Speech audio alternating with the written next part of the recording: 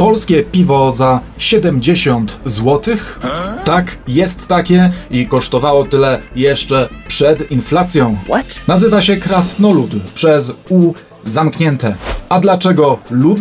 Na pewno nie dlatego, że to piwo pijemy zimne, wręcz przeciwnie. W nazwie jest lód, bo to jest piwo wymrażane i to porządnie. Stąd taka cena.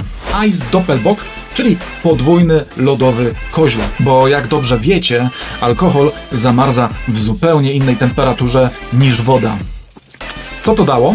Krasnolud ma aż 20% alkoholu, ale zupełnie tego nie czuć. Nie czuć, bo piwo jest zajebiście szlachetne. W końcu było leżakowane w beczkach po Chateau Potensac. Brawa dla browaru Profesja za idealną bazę, ale przede wszystkim dla browaru spółdzielczego za wymrażanie oraz tę genialną etykietę, która przypomina materiał przeplatany srebrną nitką.